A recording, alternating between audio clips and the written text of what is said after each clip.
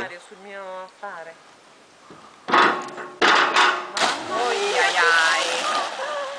Così no, che paura. Eh, così si riprendete una schierata, no? Una schierata perfetta. Uh.